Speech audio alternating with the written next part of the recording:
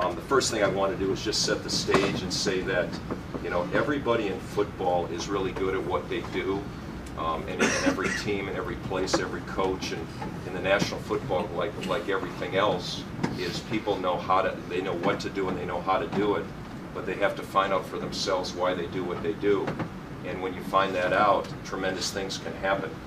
So when you when your heart uh, is involved with your mind, um, something dramatic happens, and that's passion. That's passion that happens. And what's what's now as a science is this is not some psychological ploy to get you to play better.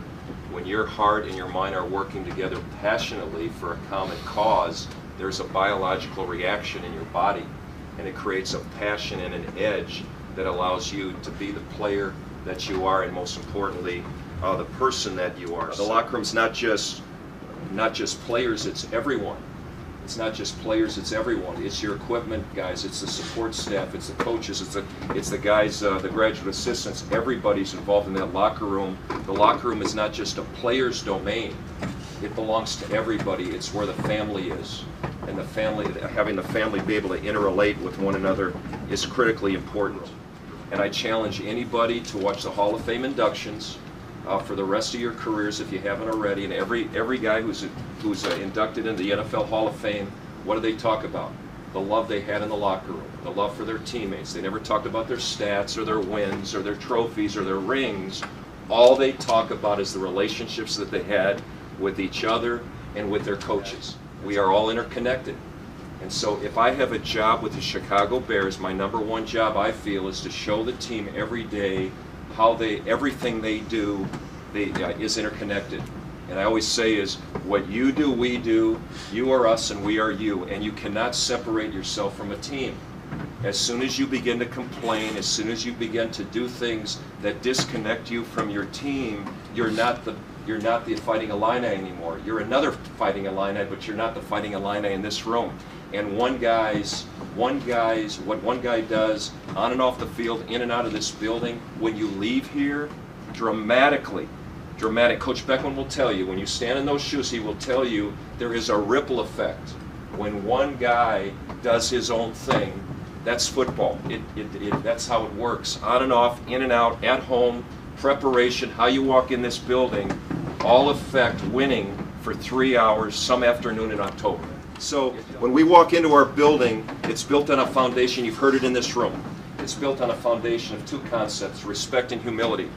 Okay? In this game, you have got to respect each other. And that means the words you use, how you say it, how you act, affect everybody. Affect everybody. Those words are critically important. And it's not just respect for the guys in this room, it's respect for the people on this campus. If you don't think your opponent is as good as you, what happens? Anybody? Somebody. You feel, how do you feel about them? You reduce them to less than you, correct? You reduce them, and when you do that, you lose your what when you play them? Your edge. You lose your edge, because if you don't think they're as good as you or they're different than you, you're going to lose your edge, right? So one of the things we always talk to our guys, the guys in this room, in Columbus, in Minneapolis, they're the same guys as you. They want the same things as you, and so do the coaches. The coaches are good coaches. They want the same thing for their teams. So when you understand that they are you, now you can put it into perspective. They're connected to you because they force you to be the best you can be. As soon as you demonize them, you make them lesser than you, you lose your edge, and you don't play the same way because you don't you, you're, you're not able to have the accountability to be as good as you can be. And one thing I always said, and I'm, I'm not sure I'm right, but I always said it, everybody's loves football, football loves no one.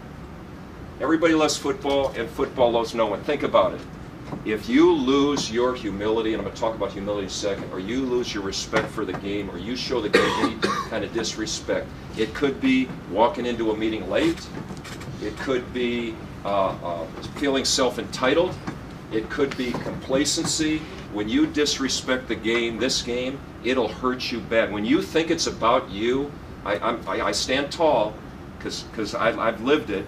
Um, when you when you think it's about you, the game will humble you. Will take you to your knees. Humility. Um, think about humility. We all got a sense of humility. Um, it, it, seems like kind of a meek statement or a soft statement. But how I define humility with the guys is understanding that that those around us enable us to be what the best we can be, right? So without you, I can't become the best I can be. What we try to do is to get you to want it more for him and them than you want it for yourself. Because if every man can want it more for each other than they want it for themselves, you got 99 and guys in here with a passionate emotional level to give you what you need to be the best you can be. And that's how it works in football. You only have a chance to be the best you can be if this guy gets his rest tonight and make sure he's at his best tomorrow at your spring game so you guys can elevate your football team. That's what matters. In our locker room, everybody's welcome. In our locker room, we don't care where you're from. We don't care what your religion is. We don't care what part of the country you're from. We don't care what sexual orientation you are. If you want to come in and master your craft and you want to cooperate and you want to feel safe, you've come to a great locker room. Okay? So when your coaches say, do your what? They say, do your job, right? What they're saying is that the, the, the definition of doing your job is, except we're teaching you how to master this, this technique or fundamental, now do it. Okay, and if we if we give you the tools to do it, you're going to be accountability accountable to do it. And so we as coaches put pressure on you to be accountable, and we don't put pressure on you to be afraid. Fear is not where we're going. We have standards of performance in everything we do, and when you have adversity and you have success, standards keep you grounded.